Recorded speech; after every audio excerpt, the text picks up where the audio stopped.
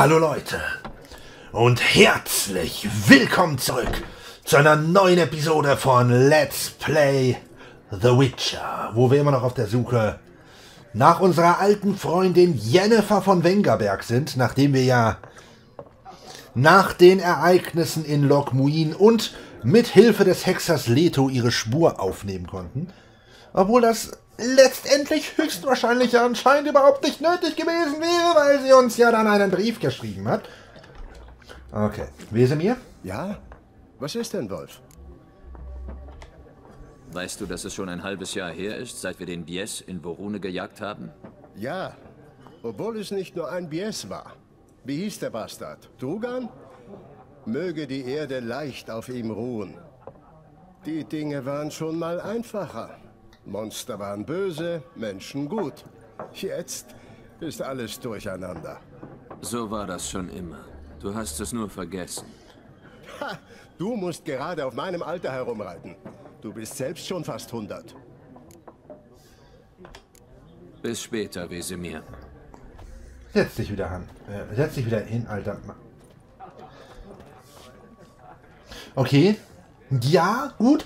Du bist schon etwas älter und der älteren Generation soll man ja durchaus auch mal die eine oder andere Freiheit in ihrem Leben lassen. Aber hier einfach über die Tische zu latschen in einer öffentlichen Taverne, also das geht jetzt echt ein bisschen zu weit.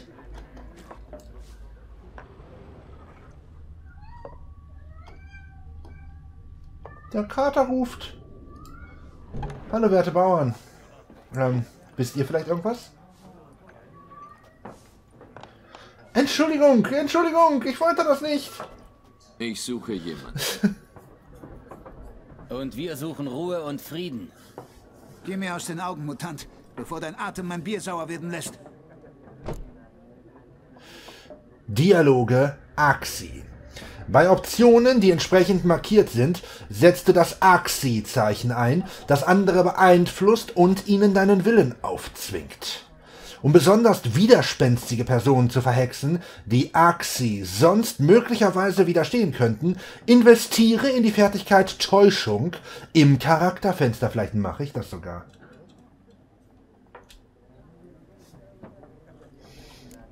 Eine schwarzhaarige Frau in schwarz-weißer Kleidung. Habt ihr die gesehen? Redet. Sie ist angeblich vor ein paar Tagen durchs Dorf galoppiert. So schnell, dass sie Radobor in den Graben geritten hat. Wo ist sie hin? Weiß nicht. Viele Spuren führen weg von der Hauptstraße. Sie kann überall hingeritten sein. Verdammt, Leute! Der Mutant kapert Mieszkos Verstand! Mhm, und deine Zunge nehme ich auch gleich, wenn du nicht still bist.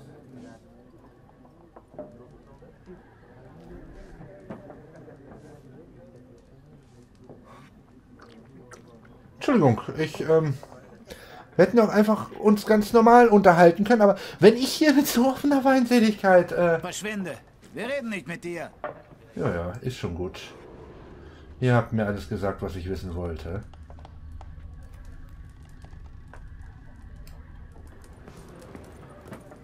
Hier hinten ist niemand, ne? Nein, da geht's dann nur nach draußen. Okay.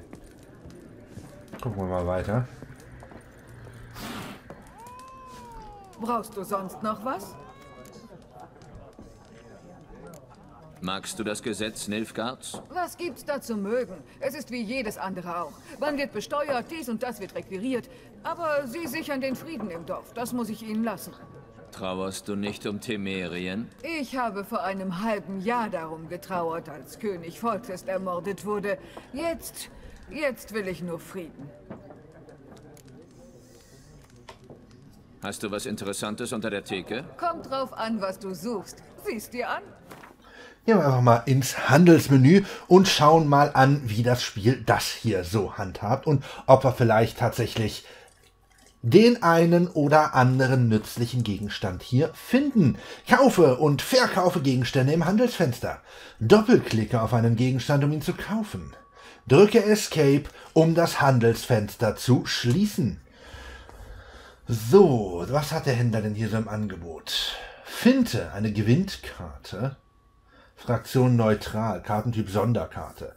Spezialfähigkeiten von Einheitenkarten. Finte. Tausche diese Karte gegen eine Karte auf dem Schlachtfeld aus, um sie wieder deiner Hand hinzuzufügen. Fraktion Nördliche Königreiche, Katapult, Kartentyp Einheit, kampffreie Belagerung, Stärke 8, enge Bindung. Lege diese Karte neben eine Karte mit demselben Namen, um die Stärke beider Karten zu verdoppeln. Was haben wir hier? Blaue Streifen, nördliche Königreiche. Stärke 4. Drachenjäger von Krinfried. Fraktion Nördliche Königreiche, Stärke 5, Fernkampf.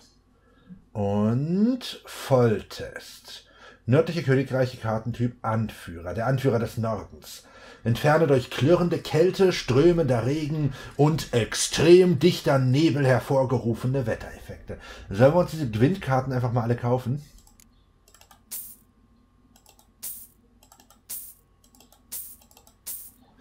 Ich habe keine Ahnung, ob das was bringt, aber ich habe vor, äh, mich so ein bisschen mehr mit Gwent zu beschäftigen, vor allem, weil es ja auch noch diese, diese Witcher Tales oder äh, Witcher's Tale, Thronebreaker oder wie auch immer das heißt gibt, das ja quasi für das separat veröffentlichte Gwent-Spiel von CD Projekt der Singleplayer-Modus ist und auch eine Story im Witcher-Universum hat, in der Geralt von Riva zwar nur eine Nebenrolle spielt, aber ähm, also das steht auf jeden Fall auch noch auf meinem Plan, das will ich über kurz und lang auch spielen. Und da wäre es ja nicht verkehrt, wenn ich mich vorher zumindest mal rudimentär mit den Regeln des Spiels befassen würde, nicht wahr? Außerdem glaube ich nicht, dass Geld ein sonderlich großes Problem werden wird. Danke. Lebt wohl. So, weiter geht's. Du hast eine neue Gewinnkarte erhalten. Um sie dir anzusehen, öffne das Spielmenü und gehe zum Kartensatzfenster. Gewinnt Kartensatz. Dann gucken wir doch mal. Willkommen im Kartensatzfenster. Gewinnspieler verwenden ihre eigenen, individuell zusammengestellten Kartensätze. In diesem Fenster kannst du deine Kartensätze verwalten. Du kannst für jede der vier Fraktionen Nilfgaard, nördliche Königreiche, Monster und Skoyatel einen Kartensatz zusammenstellen. Verwende 1 und 3, um zwischen den Fraktionen zu wechseln. Zu jeder Fraktion gehören bestimmte einzigartige Karten, die einen bestimmten Spielstil begünstigen. Jede Fraktion hat außerdem einen Fraktionsvorteil. Nilfgaard gewinnt alle unentschiedenen Runden.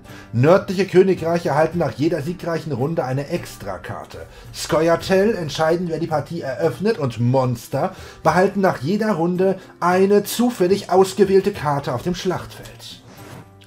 Jeder Kartensatz hat einen Anführer. Drücke, drücke X, um die Anführer zu sehen, die für die aktuell ausgewählte Fraktion verfügbar sind. Äh, durch äh, Anführerkarten. Drücke Eingabe, um die markierte Anführerkarte auszuwählen. Jeder Anführer hat eine einzigartige Fähigkeit. Setze sie ein, um das Schlachtenglück zu deinen Gunsten zu wenden. Anführerkarten, die du nicht besitzt, sind gesperrt und werden freigeschaltet, wenn du sie erlangst. Deine Sammlung. Hier sind alle Karten, die du besitzt und die mit dieser Fraktion verwendet werden können. Karten, die sich derzeit im Kartensatz dieser Fraktion befinden, erscheinen hier. Ein Kartensatz muss aus mindestens 22 Einheitenkarten bestehen. Er kann außerdem bis zu 10 Sonderkarten enthalten. Du kannst auch mehr als 22 Einheitenkarten in deinem Satz haben, verringerst damit allerdings die Wahrscheinlichkeit, deine mächtigsten Karten zu ziehen. Dein Kartensatz benötigt zwei weitere Einheitenkarten, wie von der roten Zahl angezeigt wird. Da steht aber, ich brauche nur eine. Aufbau eines vollständigen Kartensatzes. Du musst zwei Einheitenkarten aus deiner Sammlung links in den aktuellen Kartensatz der Fraktion rechts verschieben. Ähm, das ist schön, dass jetzt von mir erwartet wird, dass ich irgendwelche Karten von links nach rechts verschiebe, ohne dass sie mir wirklich erklärt haben, wie das Ganze hier funktioniert. Äh, wir haben Detmold in unserer Fraktion.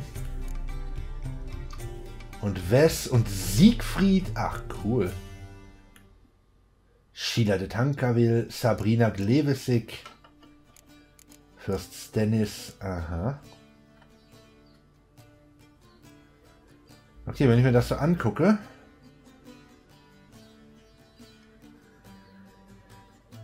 ist es erstmal nicht verkehrt, hier nochmal Blaustreifen rüber zu schicken.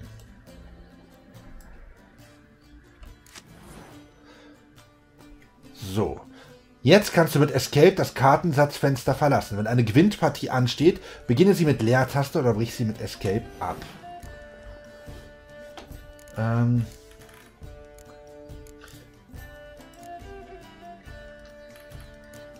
Hat das Sinn, äh, hier so, so schwache Karten zu benutzen wie die hier? Oder sollte ich das lieber gegen so Sachen wie, wie den Drachenjäger von äh, Krinfrid und sowas hier austauschen?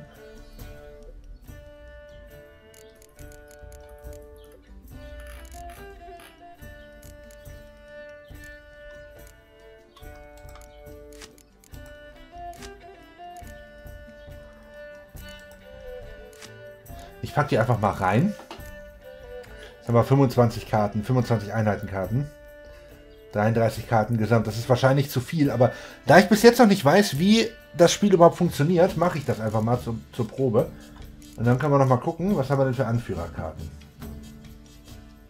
Volltest, König Temeriens. Es ist natürlich und wunderbar, dass ein Mann seine Schwester liebt. Anführerfähigkeit. Durchsuche deinen Nachziehstapel nach extrem dichter Nebel und spiele die Karte sofort aus. Und Volltest, Anführer des Nordens, haben wir auch noch. Entferne durch klirrende Kälte, strömender Regen und extrem dichter Nebel hervorgerufene Wettereffekte.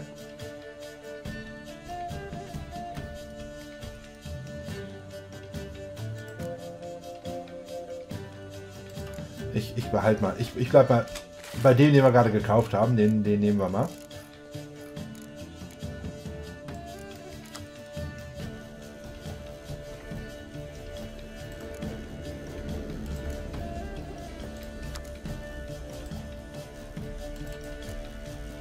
Äh, aber die, die Wettereffekte, wenn die entfernt werden, dann werden die für beide entfernt, ja? Also, ach, ich. Haben wir irgendwelche Skyatell-Karten? Haben wir noch gar nicht weiter. Okay, gut. Haben wir das zumindest schon mal geklärt. Ich bin ja schon mal gespannt, was uns da dann noch so erwartet. Hallo Kat.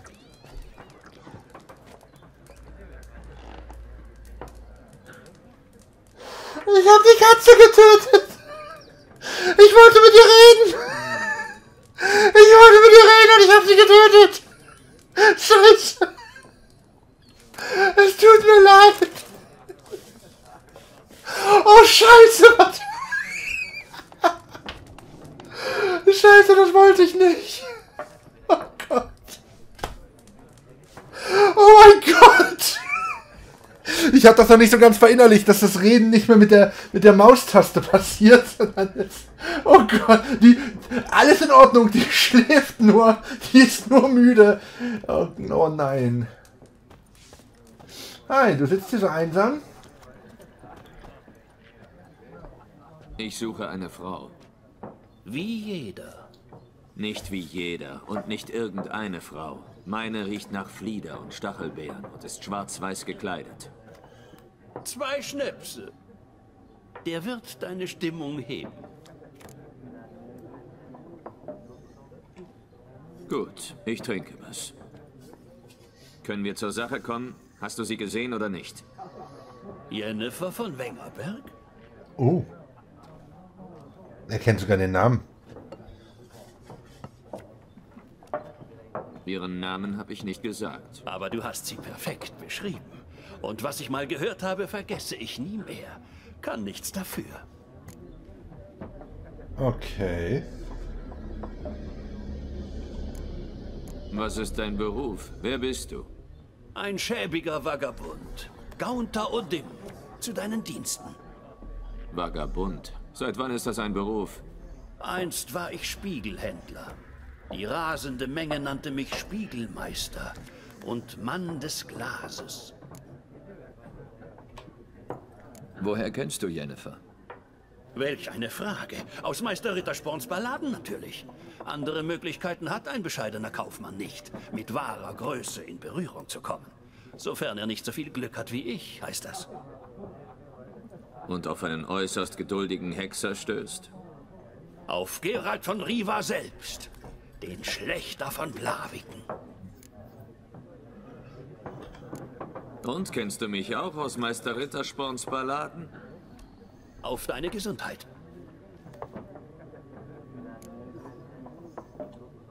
Hast du Jennifer gesehen? Verzeih mir, aber ich muss fragen.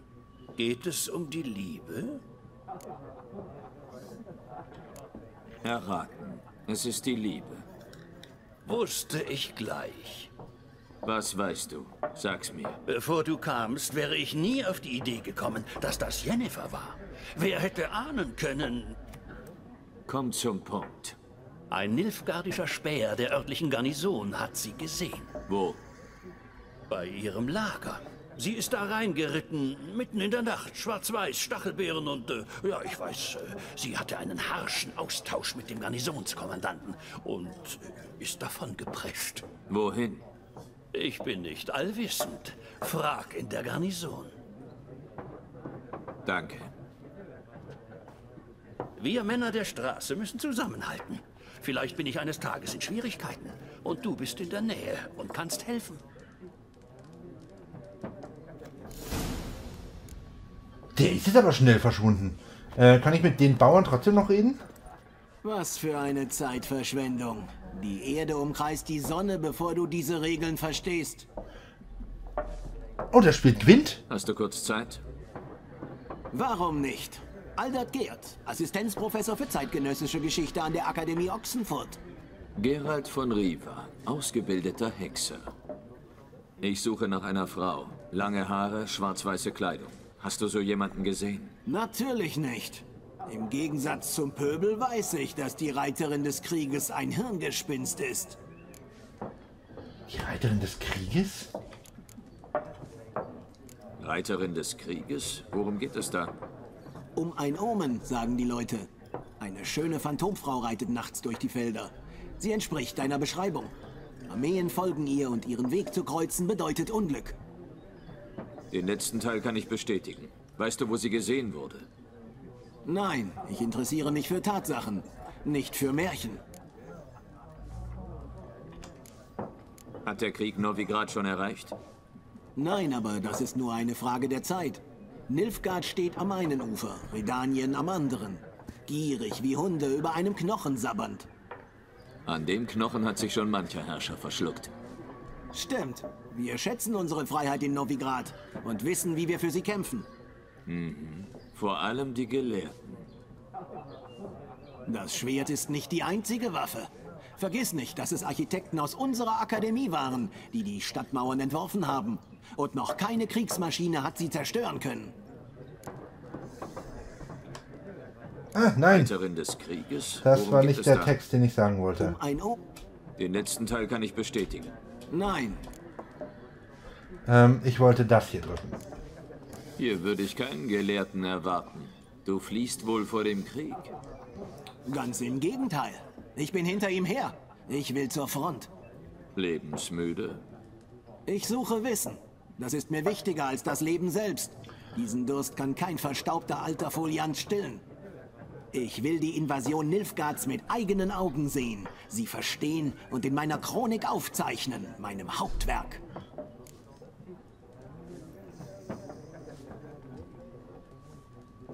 Wieso werde ich das Gefühl nicht los, dass das gerade eine wichtige Information ist? Hm. Ich befürchte, wenn wir ihn wirklich an die Front schicken, wird er draufgehen. Aber wer sind wir, dass wir uns da einmischen? Interessant. Wir brauchen jemanden, der den Krieg beschreibt, wie er wirklich ist. Keine bunten Banner und bewegende Ansprachen von Generälen, sondern Vergewaltigungen, Grausamkeit und sinnlose Gewalt. Ah, wie ich sehe, fehlt dir der Schliff der Akademie. Vergewaltigungen und Grausamkeit sind Details, die im Kriegsverlauf nicht zählen. Zierat auf dem Mantel des Konflikts sozusagen. Sag das den Leuten, deren Häuser niedergebrannt wurden.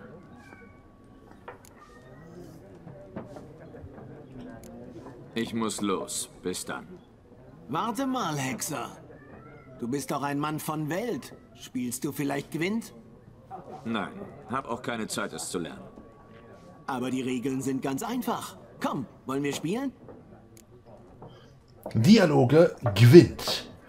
Durch Optionen, die entsprechend markiert sind, wird eine Gwent-Partie gestartet. Ich dachte immer, das heißt Gwent mit E, aber anscheinend wird es ja mit I geschrieben.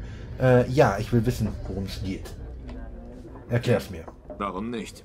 Wunderbar. Also, es funktioniert so. Möchtest du das Gwent-Tutorial beginnen? Ja, natürlich möchte ich das. Willkommen bei Gwent. Gwent ist ein altes Kartenspiel der Zwerge, denn wer soll es sonst erfunden haben, das den Zusammenstoß zweier Armeen darstellt. Die Spieler sind Generäle, die Karten sind ihre Streitkräfte. Ich beginne. Zuerst ziehst du 10 Karten. Das ist in diesem Spiel deine Hand. Du ziehst danach keine Karten mehr. Setze diese 10 also klug ein. Dies ist eine Einheitenkarte. Die Zahl oben links zeigt ihre Stärke an. Wird die Karte auf dem Schlachtfeld platziert, wird dieser Wert der Gesamtstärke des Spielers hinzugefügt, der sie ausgespielt hat. Dies ist das Kampfreihensymbol der Einheit. Das Symbol zeigt die Schlachtfeldreihe an, in der die Karte gespielt werden kann. Nahkampf, Fernkampf und Belagerung. Manche Einheiten haben Spezialfähigkeiten. Die Spezialfähigkeit dieses ketvenischen Belagerungsexperten heißt Moralschub und gewährt allen Einheiten in der gleichen Reihe plus 1 zu Stärke. Wetterkarten gehören zu den Sonderkarten. Sie reduzieren die Stärke aller Karten eines bestimmten Typs auf dem Schlachtfeld, auch die deiner eigenen Karten. Zu Beginn des Spiels kannst du bis zu zwei Karten abwerfen und neu ziehen. Überspringen wir diesen Punkt fürs Erste und kommen direkt zum Spiel. Okay. Hier siehst du das Schlachtfeld. Dies ist deine Seite. Dies ist die Seite deines Gegners. Bei jeder Runde können die Spieler eine Karte auf dem Schlachtfeld platzieren oder passen. Jeder Kartensatz hat einen Anführer. Dieser Anführer bringt eine Spezialfähigkeit mit, die pro Schlacht nur einmal eingesetzt werden kann. Du kannst die Spezialfähigkeit jederzeit einsetzen, indem du X drückst. Drücke Eingabe, um eine Karte aus deiner Hand auszuwählen. Drücke noch einmal Eingabe, um sie auf dem Schlachtfeld zu platzieren. Und jetzt sind wir am Zug. Gerald von den nördlichen Königreichen gegen seinen Gegner aus dem Kaiserreich Nilfgaard. Okay. Ähm,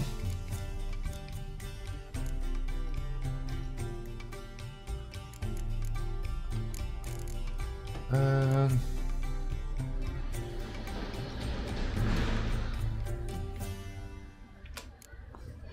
Ballista. Wir geben ihnen oft weibliche Namen. Wie Anne? Eher wie Bertha.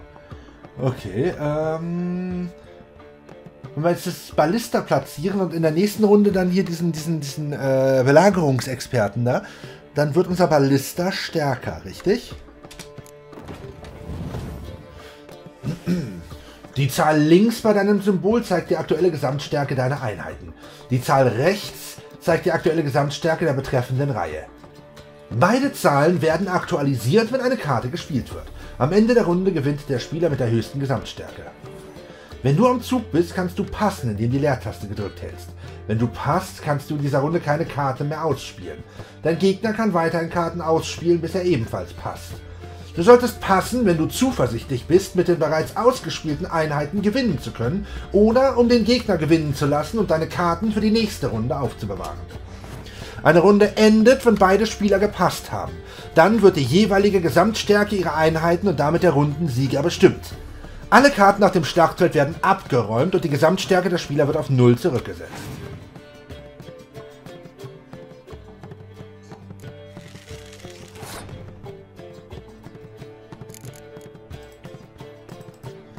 Ich, ich, ich, ich, ich will den sehen. Renoir Epp Matzen. Man sagt, die Impera fürchtet nichts. Falsch, macht sie sich in die Hosen. Und ein, ist ein Fernkämpfer.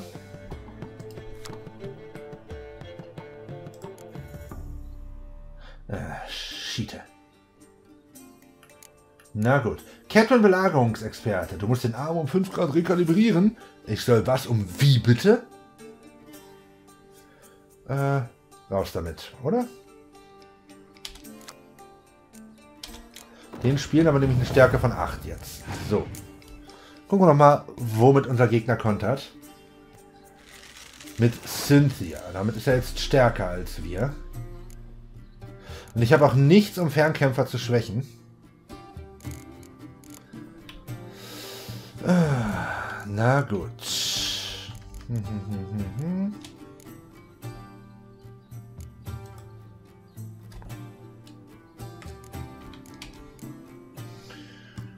Ich gucke gerade, ob irgendwer noch eine Spezialfähigkeit hat, aber ich glaube nicht, ne?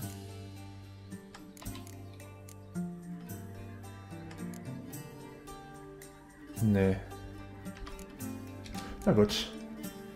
Dann spielen wir Kira Mates mal aus.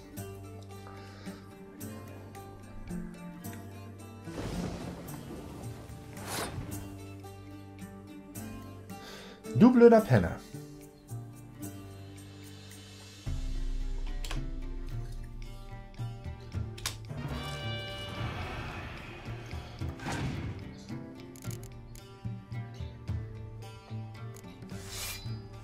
Kontert er mit einem Nahkämpfer hier.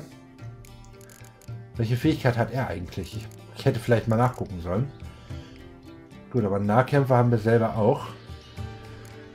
Blöderweise nur einen. Ich habe keine Ahnung, ob ich das auch nur ansatzweise richtig mache, was ich hier mache. Was, was ist das für eine Fähigkeit hier? Lege diese Karte in meine Karte mit demselben Namen, um die Stärke beider Karten zu verdoppeln. Ich habe ein ganz mieses Gefühl dabei. Ein ganz, ganz mieses Gefühl. Das Problem ist, wenn ich jetzt passe, um zu gucken, was er macht, schenke ich ihm quasi die Runde, weil er braucht ja nur noch ein weiteres Ding ausspielen. Aber es ist mir egal. Es ist mir egal, wir gucken jetzt mal. Weil er verbraucht ja auch seine ganzen Karten, ne? Ja, na klar, jetzt hat er... Der Rundenverlierer verliert auch einen Lebensedelstein. Das Spiel ist vorbei, wenn einer der Spieler beide Lebensedelsteine verloren hat. Also es ist wirklich sinnvoller, ähm, die schwachen Karten gegen die starken auszutauschen. Okay. Das ist gut zu wissen.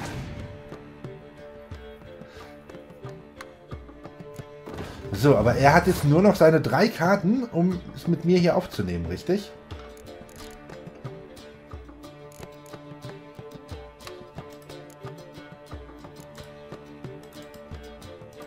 Äh, Belagerungseinheiten habe ich nicht. Also schwächen wir ihn doch einfach mal ein bisschen. Und er passt. Das heißt, wir machen jetzt noch irgendwas... Irgendwas Billiges. Ich meine, einen müssen wir ja spielen, ne?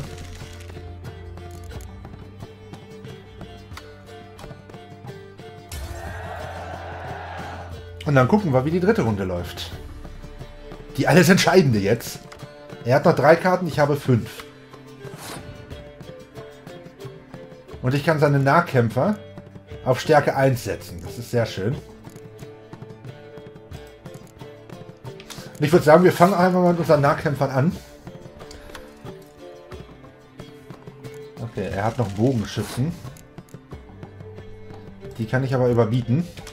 Mit Sabrina Glebesig, die ja in der Story von The Witcher 2 eine relativ große Rolle gespielt hat. So, und es gibt ja keinen Grund, mich hier noch in irgendeiner Kapazität zurückzuhalten mit meinen Einheiten. Alle Wettereffekte sind aufgehoben und er hat keine Karten mehr und das heißt, wir haben gewonnen. Wir haben gewonnen. Das gefällt mir gut. Okay, ich glaube, ich glaube, in den Grundlagen habe ich das Spiel auch verstanden. Jetzt geht es darum, gute Karten zusammenzustellen. Profi-Tipps. Es ist keine Schande zu passen und den Gegner eine Runde gewinnen zu lassen. Manchmal ist es besser, die Karten für später aufzubewahren. Jeder Kartensatz hat außerdem eigene Helden. Helden sind hochwertige Karten, die gegen die Effekte von Sonderkarten immun sind und das Schlachtenglück wenden können. Sammle mehr mächtige Karten, indem du bestimmte Quests abschließt oder Karten bei Händlern erwirbst.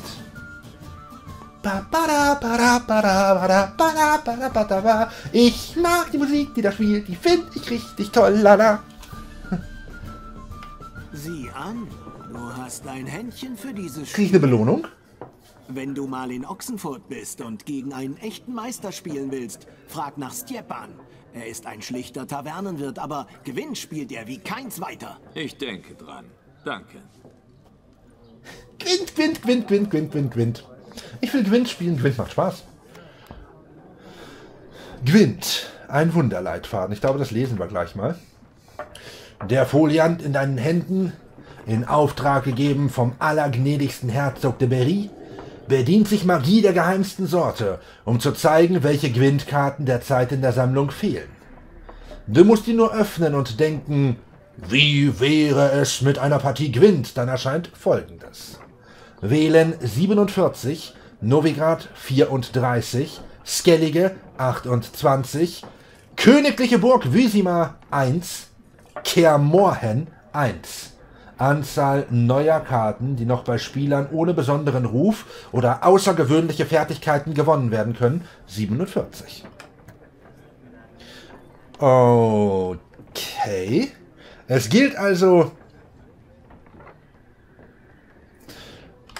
Ich muss mal kurz meinen Gewinnkartensatz anpassen. Wir haben nämlich Soltan Shiva erhalten. Der kann gleich mal da rechts rüber. So, Finte war... Was, was macht Finte nochmal? Tausche diese Karte gegen eine Karte auf dem Schlachtfeld aus, um sie wieder deiner Hand hinzuzufügen. Finte ist, glaube ich, nicht dumm, oder? Finte nehmen wir mit rein. Dafür kommen hier... Äh, lege diese Karte in meine Karte mit dem gleichen Namen, um ihre Stärke zu verdoppeln. Ja, das haben wir nicht nötig. Beziehungsweise wir haben die Karte nicht nochmal. Also raus damit. Ach so, doch, wir haben die Karte zweimal drin gehabt.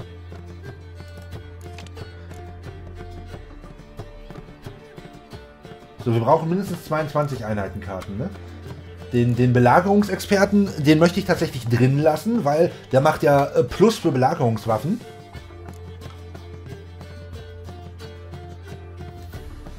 Ich möchte mal fürs nächste... Ach so. Wir hatten schon den anderen Herrscher. Im Tutorial hatten wir nur keine wirkliche Auswahl. Äh... Ja, am ehesten vielleicht noch Japan raus dann, wa?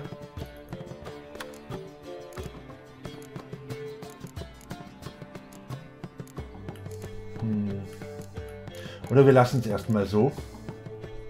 Ich mag Japan, ich will Japan nicht rausnehmen. Wobei, es, es, es wäre einfach sinnvoll, ne? weil dann haben wir insgesamt stärkere Karten. Ach, scheiß drauf. Japan, du bist raus. Du bist raus. So. Ich könnte mir gut vorstellen, dass wir eventuell später in irgendwelchen äh, Gewinnspielen dann noch die Auflage haben, deine Karten dürfen nur eine Stärke von so und so haben oder irgendwie sowas in der Art.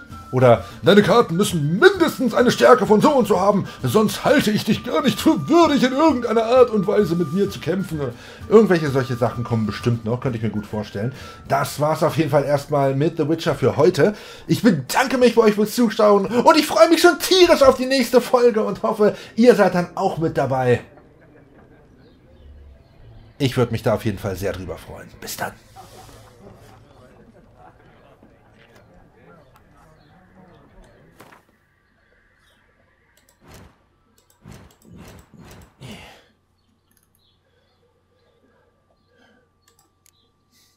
Eskel. Eskel und Gerald waren in mancherlei Hinsicht wie Brüder. Sie waren gleich alt und kannten sich seit jenen frühen Kindertagen, als sie auf Kermorhen ihre Holzschwerter geschwungen hatten. Sie hatten vieles gemeinsam durchgemacht. Die erste Selektionsrunde, die mörderischen Mutationen, die Kräuterprobe und die Spur, jenen teuflischen Hinderniskurs der Hexer. Außerdem hatten sie mehr als einmal wegen kindischer Streiche ihre Strafe kassiert. Als Erwachsene gingen sie getrennte Wege, verbrachten jedoch fast jeden Winter gemeinsam auf Kaer Morhen, um das Ende der Kälte abzuwarten, auf ihre Erfolge anzustoßen und gefallener Kollegen zu gedenken. Eskels Ruf hatte zwar nicht den Donnerhall von Geralds Ruf, doch Eskel war so erfahren wie der weiße Wolf und führte seine Aufträge sorgfältig und effizient aus. Auf seinen Jagden war er dem Tod viele Male um Haaresbreite entronnen. Eine Ironie des Schicksals dann, dass die Narbe auf seinem Gesicht nicht von einer Monsterklaue stammte, sondern von der Klinge Deadra Ademains, seines Überraschungskindes. Das, die Geschichte haben wir ja miterlebt, ganz am Anfang unseres Abenteuers, nicht wahr?